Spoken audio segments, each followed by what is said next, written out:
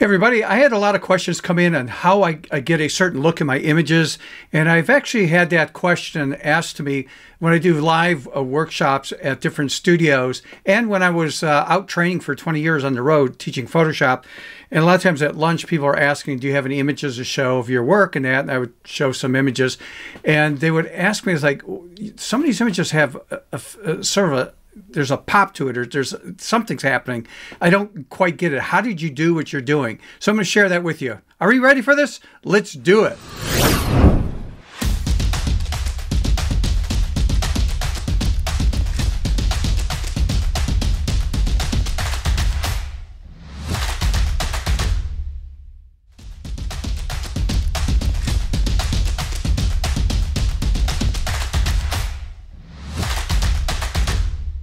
Everybody, welcome back to my channel. If you're new to the channel, this is dedicated to creativity, thinking literally out of the box in photography and as a photo artist.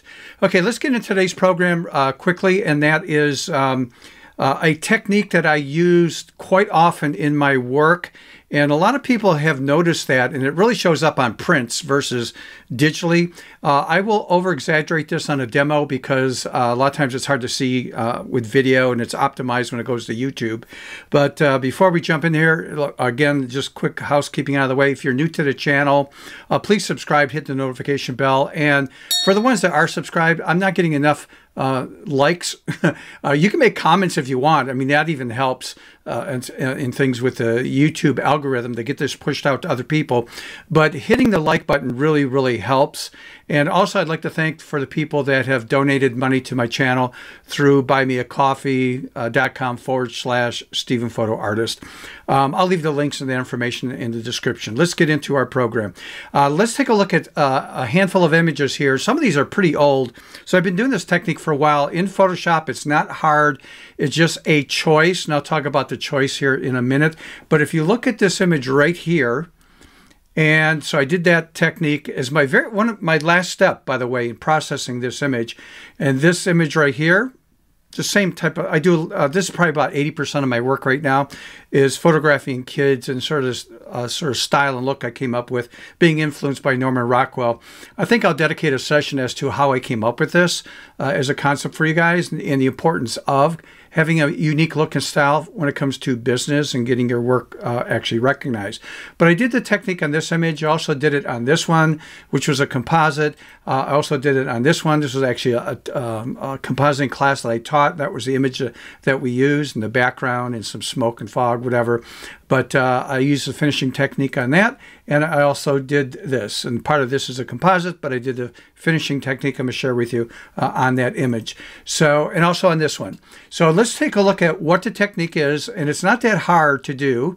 Let's see, we don't need to calibrate our monitor today, so uh, we're going to leave that alone, not going to print yet.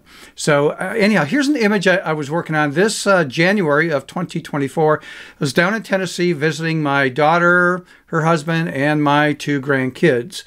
And my granddaughter is a cheerleader, and so um, we were doing some you know different shots and stuff and she was coming up with some really cool ideas that she wanted to do and of course uh, when i shot this um, I don't have that out here, but I, I just use the um, Godox um, AD100 flash, which is about the size of a, a pop can, and with a um, shoot-through umbrella. And uh, also, you know what camera I use because uh, basically I'm not out there for a professional shoot, and that is uh, I I took my um, well, I don't have it handy with me, but uh, my G1X Mark III, the point and shoot camera I talk about a lot. Uh, that's a, a, Canon camera, but again, that could be a Sony, a Nikon. It doesn't matter. But the thing with the um, the camera is it's got a hot shoe on it, so I can use a wireless trigger.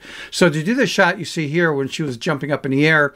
Uh, I'm going to talk about this image more in detail in the future, but um, I just had the umbrella on the side with the light, and it was a shoot through to make it somewhat soft light. And uh, anyhow, so this is the shot that we chose. She liked this one, so did I. And uh, so I'm not going to go through the composite. This is all, uh, obviously, that's not her. Um, this is all the stuff I did right here. Um, if I can find where the, that's shadows, this is the subject. So if I turn it on and off, you can see where she's at there. Anyhow, um, here's how I finished up this particular project. And again, some people notice this, especially when it goes to print. Let me zoom in on this a little bit, slider over so we can, well, let's make it a little bit smaller. Okay, so um, I'm just repositioning so I, I, want to see her feet on both sides. So this is what I do. Number one, you can see my signature here in the lower left-hand corner. That's represented with this layer right here. Uh, for right now, I'm just going to turn that off. I don't need that. And I'm going to come down to this layer. Now, what I'm going to do, I'm going to do this two different ways for you guys. I'm going to use a plugin and then I'm not going to use a plugin. I'll just use Photoshop. And uh, so to do this effect, I need everything consolidated on a single layer, which means I need a stamp layer. So for the ones that have seen my videos in the past, you know how to do that. But if not, a stamp layer basically is all the visible layers that you see here uh, in this composite. If I do on a PC now, Shift Control Alt E like an Edward, it creates what's called a stamp layer right here, and that is taking everything and consolidating that on a single layer. So if you turn this on and off, you won't see anything different. On a Mac, you would just do uh, Shift Command Option, E like an Edward, and uh, that should give you your stamp layer. Okay, so with that uh, layer at the top, I'm going to duplicate that with Control J, Command J. Um, because I'm going to do two different techniques here. The, the, the technique, I should say, is the same, my method of using Photoshop is going to be different, just so we can see the differences. Because if you don't have a certain plugin like I do, but maybe you got a different plugin, you know, try that plugin um, versus doing what I'm going to share with you in Photoshop. So let's do this. I'm going to do this first in Photoshop. So I'm going to turn that layer off right there, and I'm going to activate this one. And what I'm going to do is go to Filter drop-down menu, and I'm going to choose sharpen. Now, whatever sharpen method you like to do, uh, I mean, go for it. So um, let's see, because I don't usually do this under sharpen. Let's choose, uh, today let's do smart sharpen. Okay, you might be using the other ones.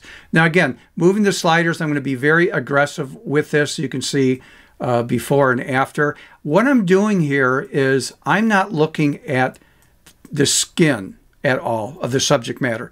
What I'm looking at is her outfit right there. So here's a before, after, before, after. If I want to get a little bit more aggressive, maybe pull the radius up over here.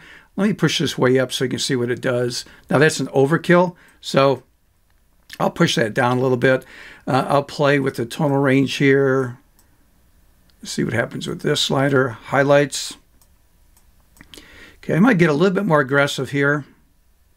So there is my before, after, before, and after. In fact, I'm going to get a little bit more aggressive on this. Okay, I'm going to go right there. So there's my before and after. Before, after, before, after. And I'm just going to choose OK to select that. Now what I'm going to do is I'm going to apply a mask to this layer. And when I do that, I'm going to hold the Alt key down, Option on a Mac.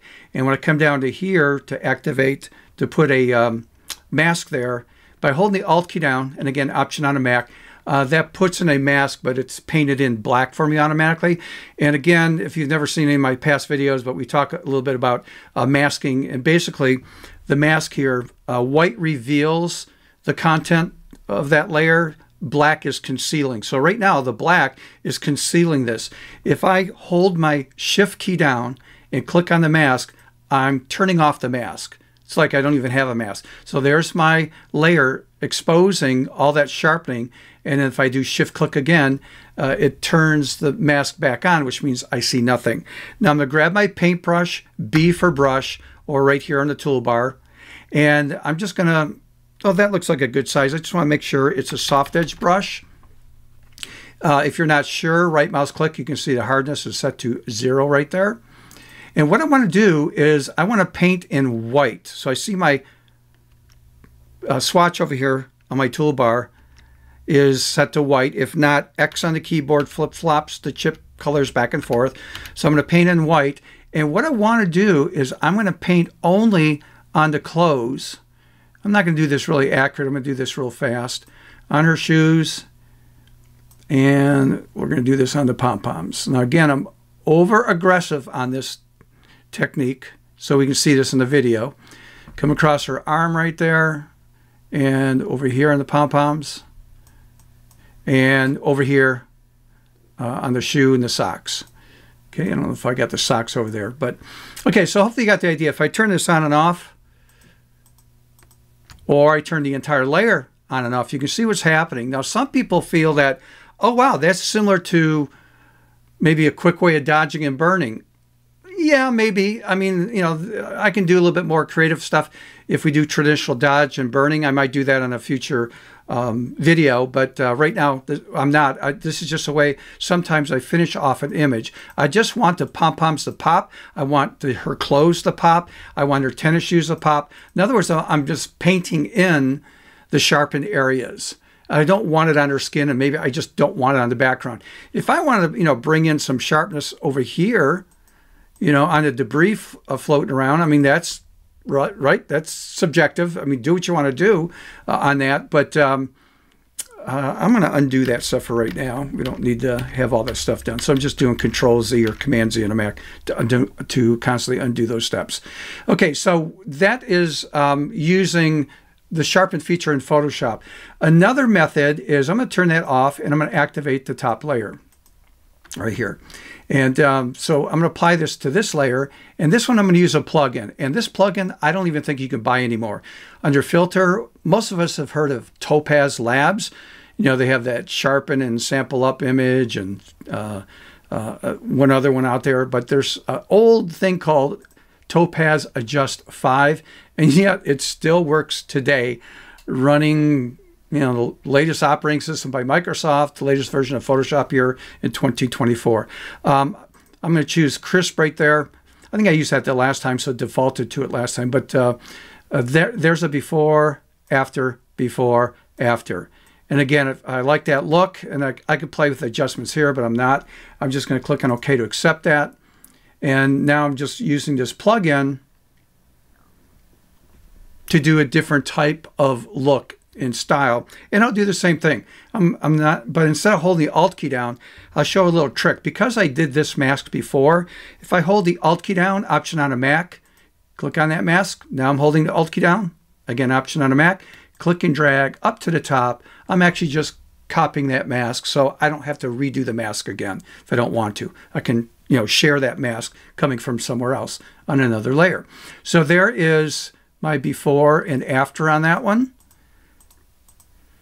Okay, and uh, again, I think you know you could see on her arms over here. I went over the arms. Well, I you know went too far, but again, as a demo, I'm doing this quick. I would have taken my time to zoom in and did it perfectly on the arm and uh, on the clothes, her shoes, the socks, the pom poms, that kind of stuff.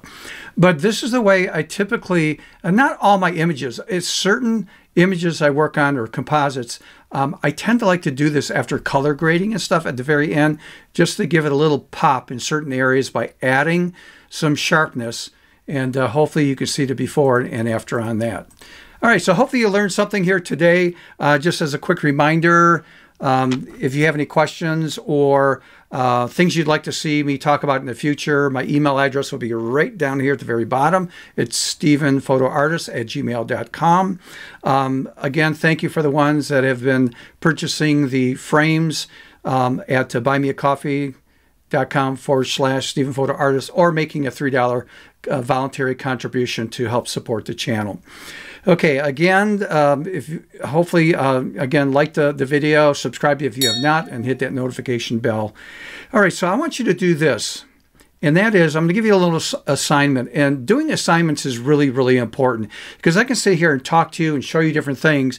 And you might go, oh, that's really cool. Or you might say, yeah, I didn't like that, which is fine. Uh, you know, everything I do doesn't mean you have to do it. Or you might throw a little twist into it. Or you go, well, I would approach that differently, Steve. I would do it this way. Do it a different way because one of the things we need to know about Photoshop is there typically isn't a single way of going from point A to B. Sometimes there's two, three, four different ways of getting the same result going from point A to B. The best way is your way. So if you know, you know, a different way of doing this, fine, continue to do it. I, am not telling you this is you know your only way that you should be doing this kind of stuff. And then again, you might not want to add detail to your images, but here's what I want you to do. we need to practice and we need to get that camera out. Think creatively, literally out of the box. I mean, I talk about it all the time, but take one of your images that you've done in the past or go out and shoot something new. And then at the very end, do what I just did right here and add some pop where you want the, the texture by using this method and see what you come up with. Because practicing is the way we learn.